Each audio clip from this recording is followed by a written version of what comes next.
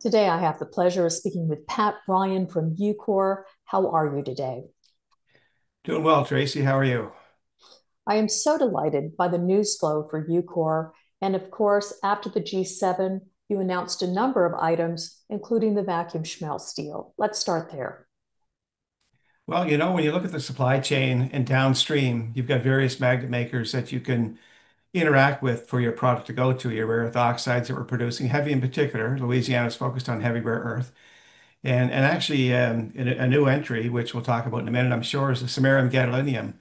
And samarium being the uh, most critically vulnerable rare earth or yeah, the most critically vulnerable uh, critical mineral. And uh, and that, too, is important to the vacuum Vacuumschmelze relationship.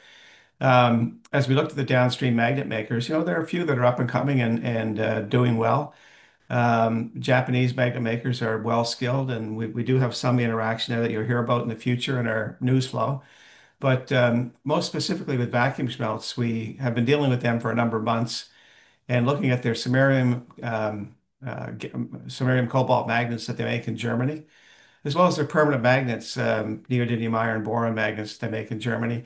And then most importantly, the Department of War funded uh, project in South Carolina, where they're uh, making permanent magnets there, and they're looking to ramp that up in a very substantial way. And of course, we're funded by the Department of War. They're funded by the Department of War. So it makes a uh, a good connectivity to look at that relationship and move it forward. So we signed, um, in light of the MOU uh, that we signed, it was more of a G7. Let's get the news out at the G7. It's an important alliance between Canada, the USA, and Germany, sort of three countries connecting here. And uh, with that news uh, flow, we'll move to a definitive agreement fairly quickly, but we wanted to at least let our shareholders and G7 entries or G7 participants know that we had um, that relationship coming together. So we're very pleased. And of course, the competitive technology you have of RapidSX was undoubtedly one of the compelling reasons this deal came together. Yeah, absolutely. You know, and I think the the thing that Vacuumschmelze saw was the nimbleness of what we can do. And by nimble, I mean, you know, when you have a solvent extraction plant, uh, it's a massive scale of uh, takes time to get the equilibrium, meaning chemical balance. And uh, if you try to switch from one particular um, product to another, it can take uh, weeks to get that done because you have to reset the whole system. Whereas with RapidSX, uh, not only is your throughput 70% better than a solvent extraction system, and you're doing it with 60% less footprint, but your time to equilibrium is literally hours, maybe a day. And so if you're looking to target something very specific like uh, samarium or gadolinium, you can actually do that. You can do it economically. You can chase that particular group of vulnerable rare earth minerals, and you can um, make it happen for someone like vacuum Vacuumschmelze that needs needs that samarium for their samarium cobalt magnet manufacturing. We've been talking for years, Pat, about how when people talk about rare earths, they want to just pigeonhole it in mining, when this is really about technology. And with that technology, in addition to the Department of War, the Canadian federal government has come behind you with a conditional approval for $36.3 million. Can you tell us a little bit more about this? Yeah, absolutely. You know, we've been uh, we've had a program with Canada for $4.3 million to, again, just run many hours on our demo plant. We similarly had a $4 million U.S. program to run many hours on our demo plant. One was for heavy, one was for light. And they were working together, complementing each other. Then the U.S. stepped up with an additional 18.4 million and said, "Get going on your Stage one Louisiana," because they were pleased with the uh, metrics that we're delivering and the comparison to solvent extraction, said this this tech is really where it needs to be. And Canada, likewise, said, "You know, it's our turn to step up." And as they looked at the um, heavy rare earth that we're looking to process in Louisiana, they realized that there's a real vulnerability. It was the April banned rare earth uh, program with China that included samarium and gadolinium. And defense applications, whether it's a you know, Virginia-class submarine or uh, an F-35 fighter or a destroyer, it's all samarium cobalt magnets because they hold their magnetization at really high temperatures. But that samarium in the Western world is not available. And that's why that vulnerability was announced recently by the U.S. Geological Survey. It's also why Forbes came out with a big article that said our vulnerability is actually samarium. We had seen that coming about um, nine months ago, and we started to interact with the Canadian government.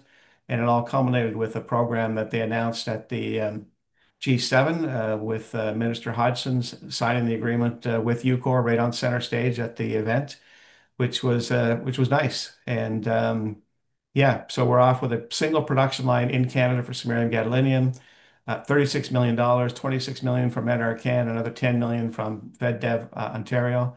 And it, it's a grant, a complete grant. So yeah, feeling good about it.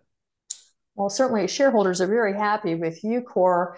And it's intriguing to me, Pat, that out of all the recent news flow you've had, the most emails I have received has to do with your Hastings Technology Metals deal. Can you tell us more about that?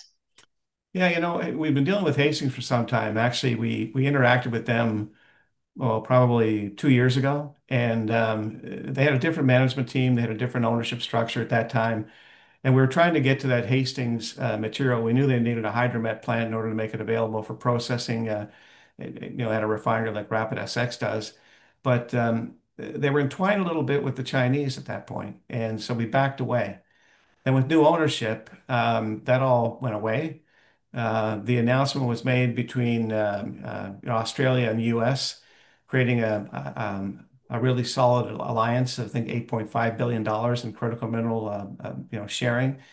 And Hastings, we've been dealing with them again most recently for the last six months, and we realized that now is the time to actually uh, take advantage of that agreement between Australia and um, the U.S., and also an agreement that was signed between Australia and Canada at the recent G7. So Hastings aligning with Ucore is an alignment of uh, Canadian technology and it's alignment of um, U.S. manufacturing with Louisiana. So we're we're moving quickly with Hastings to find a way to uh, hydromet their product and get it into play probably by 2027. We have other feedstock sources for 26. So, in essence, you've become the West command center in the rare earth race. Would you say that that is correct? the command center. Well, you know what? Uh, as you know, Tracy, to build a supply chain, you've got to have nodes that actually connect. You can't have one-off MOUs that don't bring you a, a solution at the end of the day. So we're, we're doing quite well on the feedstock side. We're aligning with our technology, which is now very mature and, and moving to, you know, deployment in, in Louisiana for SMC number one and actually deployment in Canada for SMC number two. And then downstream, we have uh, people like Vacuumschmelze and, and others that you'll be uh, hearing about that connect all the dots. So yeah, command center is get the job done. Command center is deliver a product and, start to solve this problem of deficiencies in the supply chain, recreate the Western supply chain, and we're making all that happen. So if that's the that's the command center, then we'll we'll take that title. Samarium and gadolinium. Those are two rare earths you don't hear a lot about. Would you like to tell us a little bit more about them? Oh yeah, samarium and gadolinium. You know, the, the samarium cobalt magnets are the uh, um, magnet of choice for the defense uh, system. The G7 countries use samarium gadolinium uh, or samarium cobalt magnets. And when you make a samarium cobalt magnet, you have samarium, of course, but you also have a sprinkle of gadolinium in there. All of it intended to give you a um, uh, keep high magnetization, high temperature performance, and they definitely need that in the uh, the military applications that um, you know from submarines to F-35 fighters. Um, so yeah, you don't hear a whole lot about it, but the, the one thing that people should know is that samarium gadolinium is 100% controlled by China. And back in April, when they came out with their first wave of bans, samarium gadolinium were intentionally in that group. And uh, we had been thinking uh, for a number of months that samarium gadolinium, based on our technology nimbleness, are two products that we should go after. So um, yeah, we're we're centered on a production line for samarium and gadolinium only, and and you know, uh, rare earths are found in the same chain in nature. They're all connected the same way, and samarium and gadolinium are actually a chemical split. So when you're processing out uh, samarium gadolinium, it's actually a chemical split that allows the two products to sort of make the way to the surface. So if you can get there quickly to that split, and you can do it with um, um, you know support with the customers that want to use it and they need it, they have to stockpile it and the Western world is at uh, in, in, a very vulnerable position, as Forbes re uh, reported lately. Uh, it's a smart place to be, and and we're pursuing that. So, for all of your shareholders, what should we be looking forward to in the next quarter? Well, in the next quarter, um, some of these um, feedstock arrangements that we've been talking about that uh, like Hastings, for example, that are in a um, um, MOU style arrangement, we'll be moving to definitive parameters. So you'll see some definitive coming together there. Downstream, the agreements that we've announced that are MOU-ish, like with VAC and EVAC, uh, will in fact uh, turn to a definitive agreement. As I mentioned, we had uh, accelerated that um, MOU announcement for the G7 specifically. There'll be more build-out plans being reported, build-out for Louisiana for our heavy rare earth processing. There'll be build-out plans now for Canada because we're actually building um, a, um, well, not building, it'll be a brownfield facility for samarium gadolinium in Canada. And so everyone's clear too, The um, the current uh, commercial demonstration facility we have in Kingston, that's for developing process flow sheets. It's for research. It's for testing feedstocks. It is not where the production of samarium gadolinium will take place. Samarium gadolinium will take place sort of on campus in a similar Uh, brownfield building, but uh, you want to keep your production away from your development work, and you'll hear about that as well. And other uh, other connectivity in the supply chain node that you know, U.S. government, Canadian government, there's more opportunity there. The two governments are working together, which is really nice to see, and there could be some more news flow in that area as well. Well, that certainly sounds enticing. Can you comment on U.S. and Canadian relations, Pat? You know, I think you've asked me that question before, and I indicated that it was actually quite good. And um, and I still say that. It's very good. When it comes to critical minerals and the uh, assuredness of safety and supply for the West, uh, we um, we definitely see that cooperation between the Canada and the U.S. There's a lot of connectivity. There's a lot of conversation back and forth.